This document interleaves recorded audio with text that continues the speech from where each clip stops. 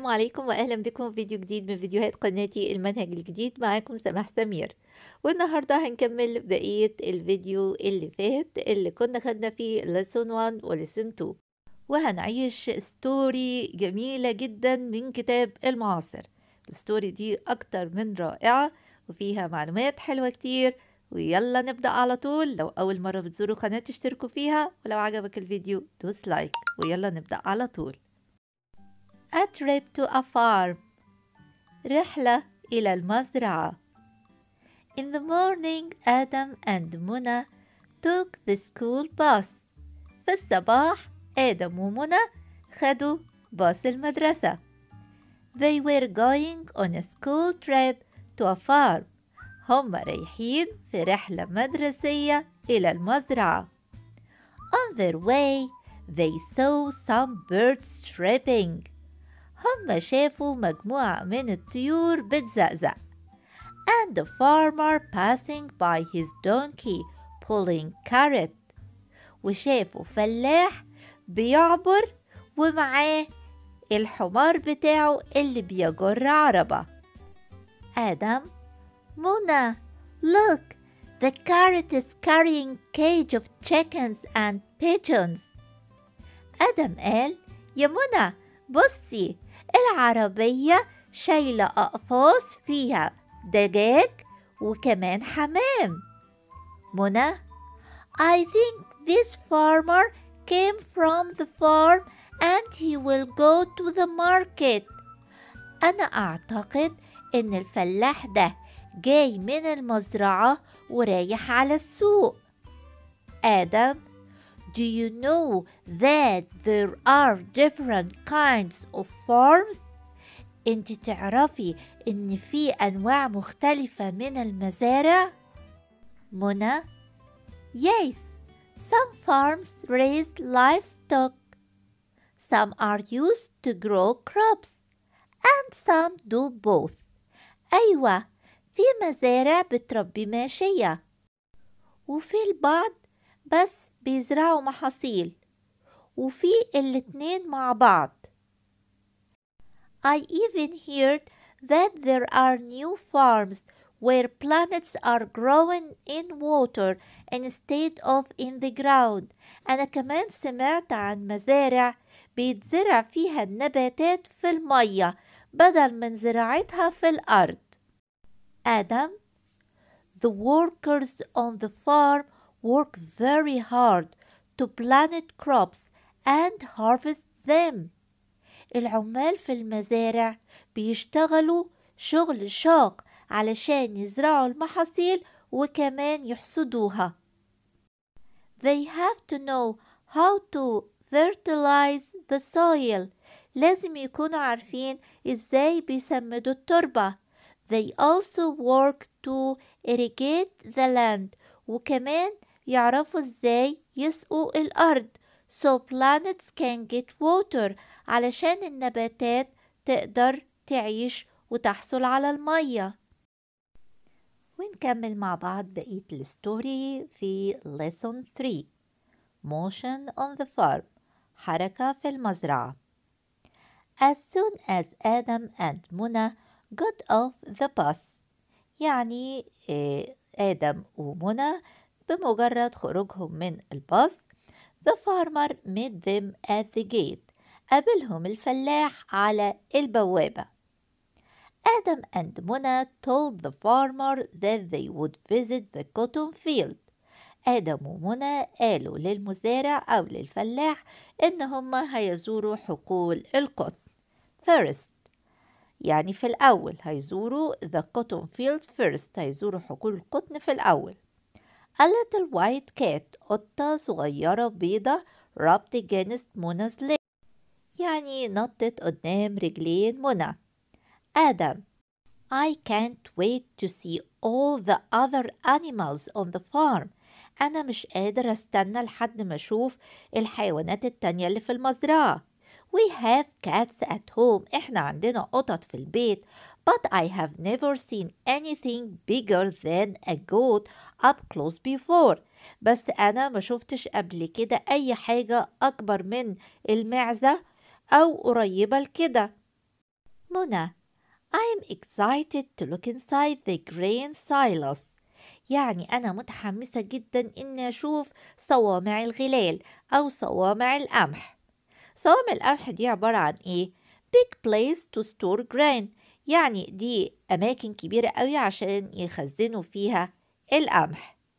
They began to walk to the fields. هم ابتدوا يمشوا في الحقول. انتبهوا على الصورة اللي فوق. منى بتفكر في صوامع القمح وآدم بيتفرج على الماعز. آدم. There are many goats here. في معيز كتير هنا. I lost count of the goats. حتى أنا يعني ضيعت العدد بتاعهم مش عارفة أعدهم. That are in the pen next the big barn. اللي هم في الحظيرة الصغيرة اللي جنب إيه مخزن الحبوب أو ال stable يبقى ال pen next ال pen دي اللي هي الحظيرة. جنب إيه the big barn ال big barn اللي هو. بيبقى مخزن حبوب أو stable the farmer look children this is how we sow seeds in our field بصوا يا أطفال دي طريقة بذر البذور في الحقل آدم but I don't realize that I am on a field أنا مش مدرك خالص إن أنا في حقل nothing was growing مفيش حاجة طالعة فيه how could this be a cotton field إزاي ده يتحول لحقل قطن منى look Adam there are two giant oxen approaching بص يا آدم في طورين كبار جدا ضخمين بيقربوا مننا pulling something behind them وشادين حاجة وراهم the farmer this team of oxen is pulling a spreader الفريق ده من الثيران بيجروا مرشة البذور. look closely بصوا عن قرب at the machine they pull على المكنة اللي بيجروها. Do you see that lever أنتوا شايفين الرافعة دي؟ It is, a pro it is broadcasting cotton seed. دي بتنشر بذور القطن. كلمة pulling هنا تخلوا بالكم منها بمعنى يجذب أو يشد وبالمعنى الدارج بتاعنا بيجر Adam watched as seed flew out in an arch along the arrows of dirt. It was like watching a fountain. آدم اتفرج على البذور وهي بتطير لبعيد في شكل قوس على طول صفوف من الطين يعني إيه؟ زي ما أنتم شايفين في الصورة إن الآلة دي زي ما تكون بتعمل خطوط كده في الأرض زي صفوف جنب بعضها في الأرض نفسها فبتطلع طين والبذور بتنزل جوه الصفوف دي. It was like watching fountain يعني ده كان شبه مشاهدة النافورة. النافورة اللي هي بيطلع منها مية.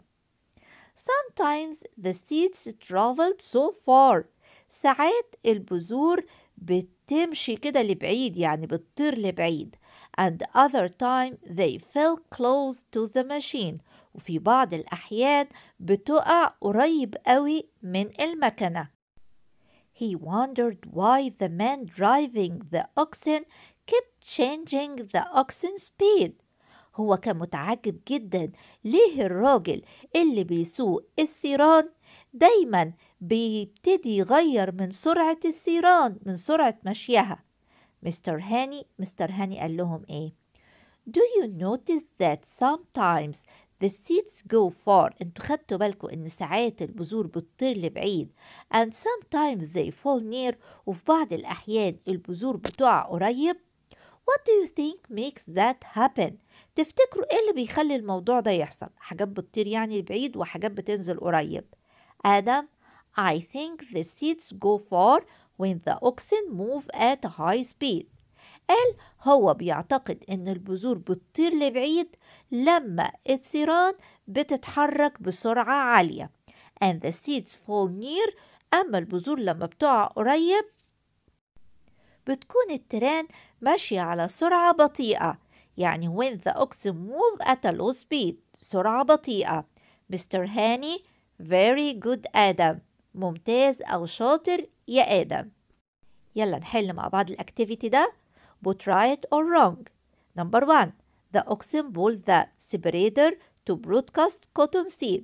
يعني الثيران بت بتجذب ال spreader اللي هو ال spreader اللي بينشر اللي هو الآلة اللي بتنشر بذور to broadcast cotton seed طبعا right When the oxen move at a high speed, the seeds fall near. يعني لما التيران بتمشي بسرعة عالية البذور بتقع قريبة. طبعا wrong. When the oxen move at a low speed, the seeds go far. طبعا wrong. هما كده يبقى العكس. ولأننا دايما بنجمع ما بين كتاب الأضواء ال Gem وكتاب المعاصر فكان لازم نروح لكتاب ال Gem نشوف هو قايل إيه عن القصة دي. وبصراحة أنا لقيت إن كتاب المعاصر متوسع جدا في الستوري واستفدنا منها أكتر بكتير من كتاب ال Gem. لكن مش معنى كده إن إحنا مش هنستفاد من كتاب ال Gem. هنشوف لو في معلومة زيادة هو قالها وهنحل بعض ال exercise بيقول لي هنا إن في note. If we use more force إحنا لو استخدمنا قوة زيادة قوة force to push قوة زيادة لدفع جسم it will move further فهي هتبعد أكتر أو هتتحرك بدرجة أبعد. يبقى كل ما زادت القوة زاد إيه إن هي الجسم بيتحرك بشكل أكبر وأبعد.